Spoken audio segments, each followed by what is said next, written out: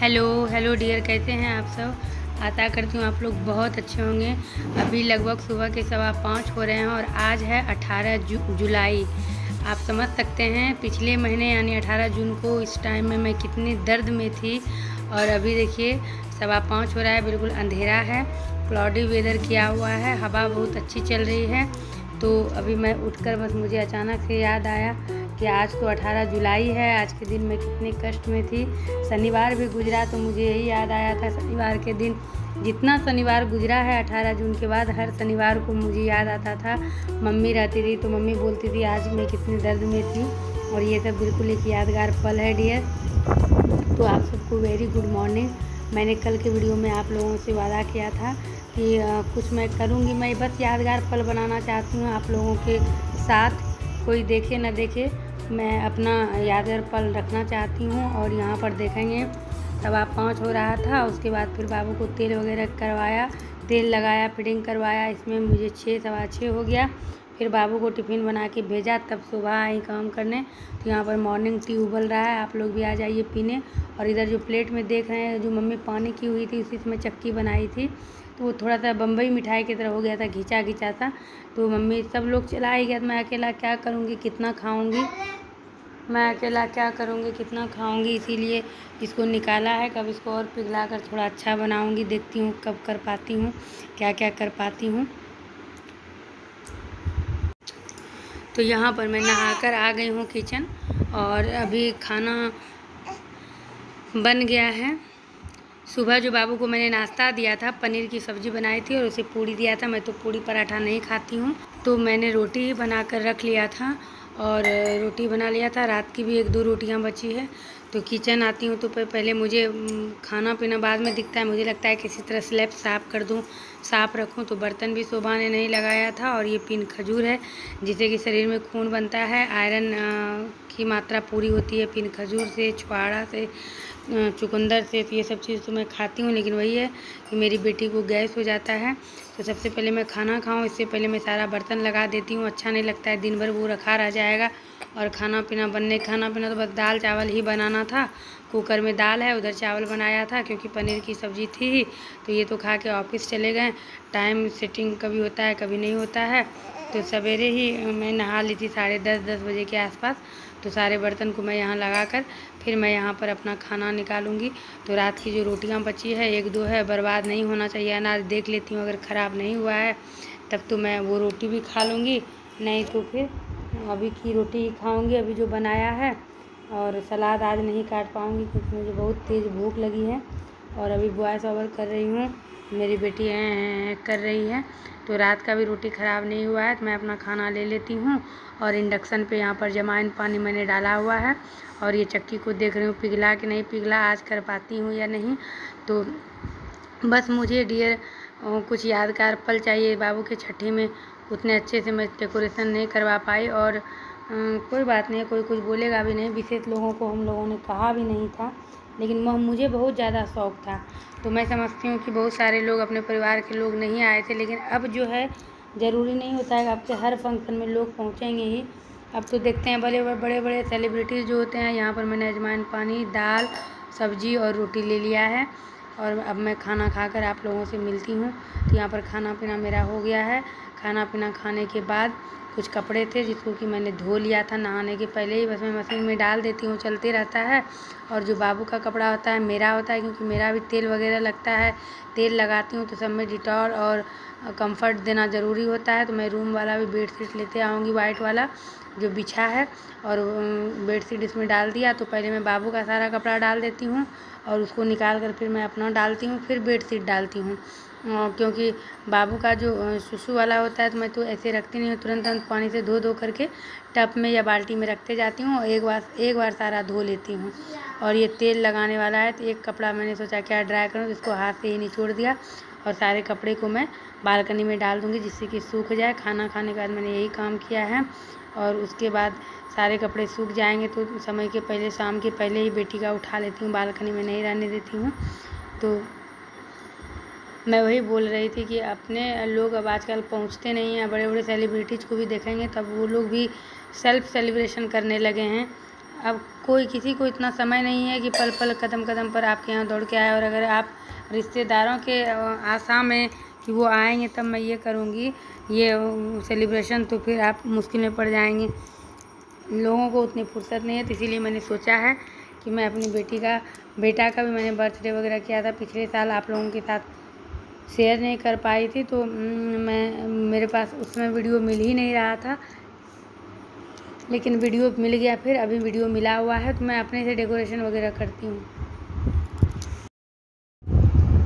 अभी सुला के आई हूँ सो ही नहीं रही थी एक एक दिन क्या होता है एक एक दिन जैसे नहलाती हूँ जैसे साबुन लगा के नहलाया तुरंत उसको नींद आने लगती है और एक एक दिन क्या होता है सोएगी नहीं थोड़ा सा मुँह में दूध लेगी बस तुरंत नींद में चली जाएगी जैसे पेट पे रखूँगी फिर उठने लगती है इसी चक्कर में आज एक घंटा लगा उसको सुलाने में और आखिरकार उसके चक्कर में मैं भी सो गई। यही होता है तो फिर अचानक से मुझे याद आया कि समय काफ़ी हो गया है, लगभग साढ़े बारह बज गया और उसमें भी समय लगेगा मेरा बेटा भी स्कूल से आ जाएगा झूमू मेरा बेटा आ जाएगा स्कूल से फिर मालिश करने वाली आ जाएगी सारा प्लान मेरा धरा का धरा रह जाएगा इसीलिए अब मैं यहाँ पे हॉल में आ गई हूँ ये दो चार बैलून उस दिन का बचा है तो मैं बैलून खुला लेती हूँ एक एक करके तो बेटी को भी नहला के मैंने रेडी कर दिया है। मेरा बेटा अभी स्कूल से आया नहीं है। तो देखती हूँ, परेशानी क्या है कि इस मकान में अभी मैंने बात करी थी, आप लोगों से मकान छोड़ना है मुझे। लेकिन इन लोगों ने मना कर दिया, बाबू का जो छठी हुआ, उसमें तो मैं उस वीडियो में आपको नहीं दिखा पाई कि किस तरह से वो लोग भी आए थे। तो मेरी बेटी रोने लगी थी, जब मैं वॉइस ओवर कर रही थी, फिर उसको मैंने चुप किया है। फिर आई हूँ वॉइस ओवर करने, अब तो मेरे काम इसी तरह से होंगे। तो उन लोगों ने बहुत रिक्वेस्ट किया कि नहीं, आप लोग नहीं जाइए, क्यों जाना चाहते हैं? लेकिन बहुत कारण है। एक तो यहाँ पे चीटी इतना परेशान कर दी है कि जगह जगह पर लाल चीटी, जो कि अशुभ का संकेत होता है। दूसरी बात और भी है, बहुत बातें हैं, जैसे कि मकान में पेंट वगैरह, जितना साल से हम लोग रह रहे हैं, छः सात साल से, कुछ इन लोगों ने नहीं करवाया है। मकान तो बहुत अच्छा है, लेकिन अपडेट कोई भी चीज़ का एक छोटा सा या बड़ा सा कोई ऐप हो, मोबाइल हो, कुछ भी हो, सब चीज़ में अपडेट ज़रूरी होता है। तो हर चीज़ में होना चाहिए, लेकिन इन लोगों ने इन लोग, ये लोग इतना ध्यान नहीं देते हैं। यही सब कारण है चीटियाँ वगैरह, दीवार पे चढ़ चढ़ना, कीड़े, मकोड़े, ये वो, बहुत कारण है। और कितना ऐसे लोग साफ़ करके रखेगा। बाकी दूसरी बात यह है कि कवर्ड भी नहीं है इनके मकान में, जो कि सामान रखने में काफ़ी दिक्कत होता है। तो यही सब कारण से हम लोगों ने डिसीज़न लिया था मकान छोड़ने का, लेकिन अभी इन लोगों ने मना किया है। बाबू भी छोटी है। मैं भी अभी स्वस्थ नहीं हो पाया हूँ तो अभी तो एक दो महीना मुश्किल है ही। तो देखते हैं आगे क्या होता है। तो बस इसीलिए डियर यहाँ पे दीवार में बैलून चिपकाने का मैंने सोचा था बेड में, दीवार में, लेकिन बिल्कुल ये डिसीज़न गलत हुआ। आगे मैं बताऊँगी आपको, उसके बाद यहाँ पर मैं बैलून जल्दी जल्दी फुला रही हूँ। और तब तक यहाँ पर मैंने बैलून रेडी किया ही था। लगभग बारह, साढ़े बारह हो ही रहे थे। तो मैंने इनसे मंगवा, इनसे बाबू का ड्रेस मंगवाया था। बाबू का ये ड्रेस लाल और उजला लाए थे। मैंने कहा था कि कल बाबू का एक मंथ हो जाएगा तो आप बाबू के लिए ड्रेस लेते आइएगा। तो ये बहुत ही अच्छा लाल और उजला पे ड्रेस लाए तो मैंने बैलून भी लाल उजला ही मन, मंगाया। मुझे बहुत शौक है, मैं बहुत कुछ और डेकोरेट कर सकती थी और आइडिया भी मेरे पास बहुत ज़्यादा है, लेकिन लेकिन डेकोरेशन का जो भी सामान था, इनको लाना पड़ता और आप समझ सकते हैं, कोई इंसान खाना बना के जाए, फिर ऑफ़िस में काम करे, फिर नौ बजे रात में लौटे और मैं लंबा चौड़ा लिस्ट थमा दूँ, फरमाइश कर दूँ तो कितना बुरा लगेगा, ये तो बैलून किसी तरह लेते आए और मैंने झूठ बोल कर भी मंगवाया था। इनको मैंने बताया भी नहीं था, लेकिन इनके लिए ये सरप्राइज़ था, ये बहुत खुश हुए देख करके। बोल, मैंने बोला था, बाबू के स्कूल में ज़रूरत है। ये बोले, तुम ये भी बोलती तो भी मैं अपनी बेटी के लिए इतना करता, तुम बोलती तो सही, लेकिन मैंने ये मंगवाया बाकी और कोई चीज़ नहीं मंगवाया और अभी तो मैं मार्केट वगैरह जाऊँगी नहीं। तो इसीलिए बस सिर्फ़ बैलून का ही आइडिया रखा कि सब कुछ इसका जैसे बेड शीट मैंने सोचा कि वो बेड शीट वाइट है तो इसका बेड रेड होना चाहिए। इसका ड्रेस कॉम्बिनेशन रेड वाइट है तो मैंने भी रेड नाइटी पहन ली। अपने बेटा को भी रेड टी शर्ट पहना दिया था। तो अभी मेरा बेटा स्कूल से नहीं आया है, तब तक मैं ये तैयारी में लग गई हूँ। देखती हूँ कहाँ तक क्या संभव है डियर तो आप लोग जो भी चैनल पर नए हैं, चैनल कीजिएगा, सब्सक्राइब वीडियो को लाइक करिएगा, अपना कमेंट ज़रूर शेयर करिएगा। इसी तरह दिन, दुना, रात चौगुना मेरी बेटी बढ़ती रहे आगे बढ़ती रही इसी तरह से। मैं तो माँ हूँ, बेटी बेटी का मुझे बहुत शौक़ था और मैं बहुत खुश हूँ। यहाँ पर मेरा बेटा आ गया स्कूल से और ये जो बेडशीट मैंने धोया था, ये सूख भी गया और अब मैं इस बेड शीट को यहाँ लगाऊँगी और ये जो बेड है खिड़की वगैरह से पर्दा हटाती हूँ तो कहाँ से इतना धूल जमा हो जाता है भगवान जाने। तो उस धूल को मैंने साफ़ कर दिया और पता है डियर इतना जो मैंने किया भाग दौड़ सुबह से मैं कर ही रही थी अभी मालिश करने के लिए नहीं आई थी सरिता। तो इतना जो मैंने भाग दौड़ किया फिर यहाँ चार बैलून चिपका के फिर बेटा को खाना देने गई। फिर मतलब भाग दौड़ जो हुआ मेरी वो स्थिति हो गई रात में। मैं आपको बता नहीं सकती हूँ। इस वीडियो से मुझे एहसास हुआ आ, कि अभी भी मैं बहुत ज़्यादा कमज़ोर हूँ। नहीं तो मुझे लगता है कि मैं ठीक हो रही हूँ। ठीक हो जाऊँगी ठीक हो रही हूँ लेकिन इस वीडियो में इतना करके मुझे पता चला कि मुझे मेरे मुझे अभी भी वीकनेस है डियर और अभी वीकनेस रहेगी। डेढ़ महीने में डॉक्टर ने बुलाया है तो अब तो एक महीना हो गया पूरा। अब देखती हूँ पंद्रह दिन बाद अस्पताल जाऊँगी तो आ, देखती हूँ डॉक्टर क्या कहते हैं।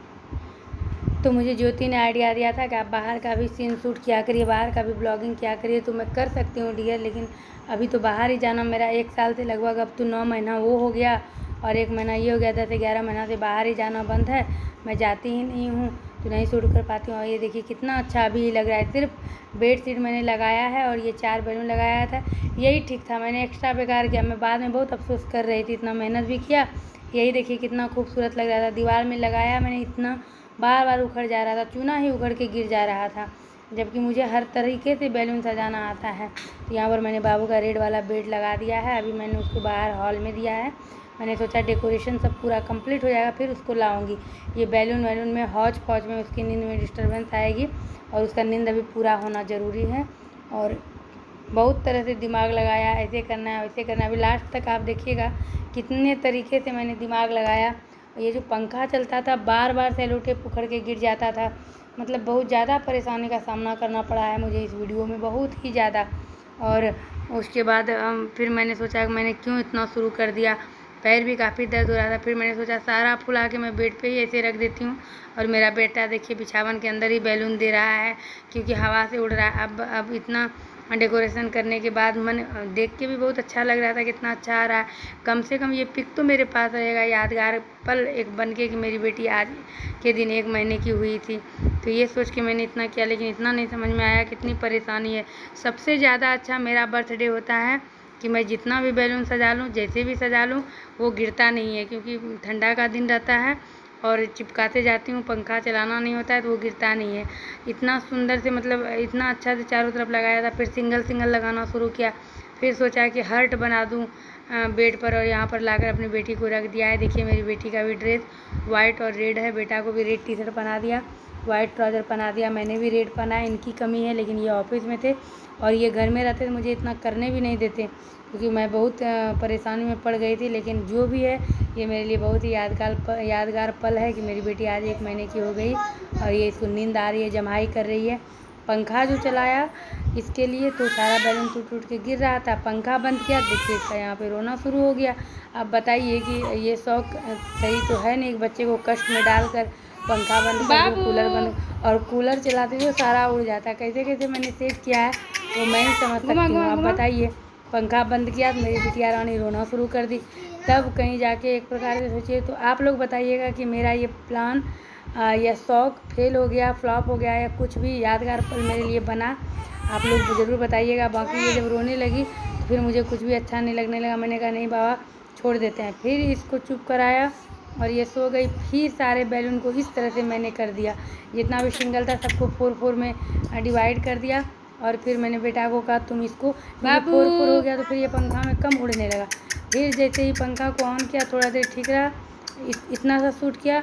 उसके बाद फिर मुझे लगा कि चलो पंखा में नहीं उड़ रहा है अब कूलर लगाते हैं। कूलर लगा, ये सब चीज़, ये भी है कि एसी वगैरह रहे तो फिर डेकोरेशन काफ़ी अच्छा होता है। देखती हूँ सब कुछ कब तक संभव है। बाकी ये बहुत यादगार पल मेरे लिए रहा, फिर ये गोद में लेके बैठा, फिर ये बोल रहा है, क्या बिट्टू, ये ये बढ़िया से सेट नहीं हुई है? इसको सेट कर दो मेरे पास बढ़िया से, गोद में, नहीं तो ये गिर जाएगी। तो इस तरह से फिर मैंने सारे बैलून को जोड़ा। इस तरह से कर कर के कभी कूलर लगाते थे, कभी पंखा, लेकिन जब कूलर लगाया तो सब उड़ गया। उसके बाद फिर जब मेरी बिटिया रानी एकदम खुश हो गई फिटिंग वगैरह करके इसका पेट भर गया, तब फिर से मैंने सारे बैलून को जोड़ा जोड़ा और धागे में इसको किया, क्योंकि मेरे सर पे भी एक जुनून चढ़ा हुआ था, मुझे करना है भाई हर तरीके से। तो चलिए, तीन चार तरीका तो मैंने अप्लाई कर ही लिया और मैं बहुत खुश हूँ कि चलिए मैंने बहुत कुछ, ये तो एक यादगार पर मैंने बना ही लिया। एक महीने की मेरी बेटी थी मेरी बेटी हुई तो मैंने क्या क्या किया? तो डियर आप लोग बताइएगा, आप लोगों ने इन्जॉय किया या नहीं किया? अब देखती हूँ दूसरे महीने में क्या कुछ कर पाती हूँ या नहीं कर पाती हूँ। आप लोग ज़रूर कमेंट करके बताइएगा। मेरी बिटिया कैसी है, मुझे ये भी बताइएगा, बेटिया रानी को ढेर सारा आशीर्वाद और अपना प्यार दीजिएगा। बहुत मेहनत से आप लोगों के लिए मैं वीडियो बनाती हूँ और अभी सब कोई सो गया है, फिर मैं ये शूटिंग कर रही हूँ। बिल्कुल शांति से आप सब बेलून में देख रहे होंगे सेलो टेप चिपका है। लेकिन सब तरह का आइडिया मैंने अप्लाई कर लिया और अभी मेरी बेटी बिल्कुल नहीं रो रही है क्योंकि ठंडी ठंडी हवा भी चल रही है पंखा भी चला दिया है। बेटी खा, खाना भी खा ली है मेरी बेटी। अब बस इसको चाय पीनी है क्योंकि इसको जमाई आ रही है। तो आप लोग कहते हैं? आप लोग भी अपना ध्यान रखिएगा। आप लोग स्वस्थ रहेंगे ठीक रहेंगे। तभी मेरी बेटी को आप लोग बढ़िया से खुश होकर आशीर्वाद दे पाएँगे। और चैनल पर जो भी नए हैं, चैनल कीजिएगा सब्सक्राइब, वीडियो लाइक करिएगा डियर, और अपना कमेंट ज़रूर शेयर करिएगा। वो टोपी पहनाया था, पहले, पहली बार जब बना रही थी तो मैंने सोचा, इसके लिए मैंने रेड कलर का हेयर बैंड भी मंगाया था, लेकिन वो हेयर बैंड कपड़े का ही है, ऐसा नहीं है कि वो प्लास्टिक वगैरह का है, बहुत ही अच्छा है। लेकिन मुझे लगा कि नहीं, क्योंकि उसमें जो फ्लावर बना हुआ है, वो थोड़ा सा हो सकता है चुभ उब जाए तो मैंने वो सब कुछ इसको पहनाया। और बेटा को तो मैं काजल नहीं लगाती थी इसको मैं काजल लगाती हूँ। तो मालिश भी इसकी दो तीन बार हो ही जाती है सरिता आती है तो आज तो सुबह भी मालिश कर दी थी। तो चलिए डियर इस ब्लॉग को इस वीडियो को मैं यहीं पर एंड करती हूँ और उम्मीद करती हूँ आप लोगों ने बिल्कुल एंजॉय किया होगा। देखिए मेरी बेटी को चाय चाहिए भाई। चाय के लिए जमाई कर रही है मेरी बेटी। अब मैं चलूँगी बेटी के लिए चाय बनाने। मैं भी चाय पीऊँगी। आप लोग भी चाय पीजिए अपना ध्यान रखिए। खुश रहिए स्वस्थ रहिए। तो bye bye dear bye bye love you all comment में ज़रूर शेयर करिएगा. मेरी बेटी कैसी है तो चलिए मिलती हूँ. अब मैं आपसे आगे. Bye bye bye bye dear bye bye love you all